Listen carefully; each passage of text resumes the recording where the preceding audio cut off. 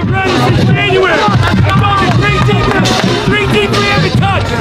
Brecksville, Bedford, and what they had, and what they had.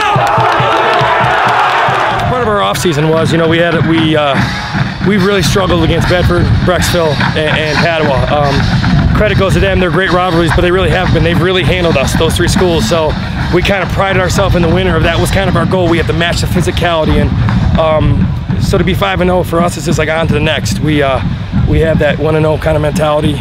Um, very proud of my seniors. Uh, it's a senior-driven uh, group. My coaches have been fantastic. So, um, you know, being five and zero is great, but we're looking to looking for more.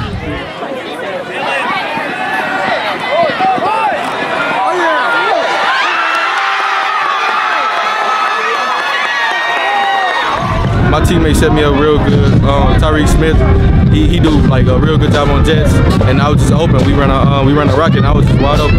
And Marlon, Marlon Jordan did a good pass.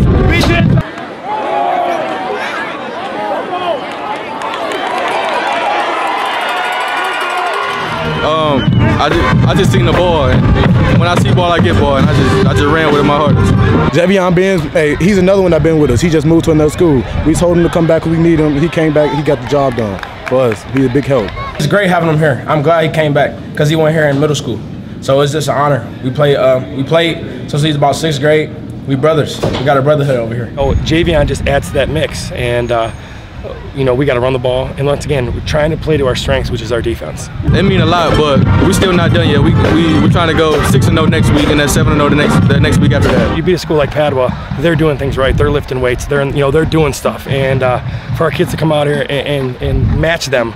Um, well, I'm very proud. I'm a very proud coach right now. I'm kind of a loss of words because that was just a great team effort by our guys.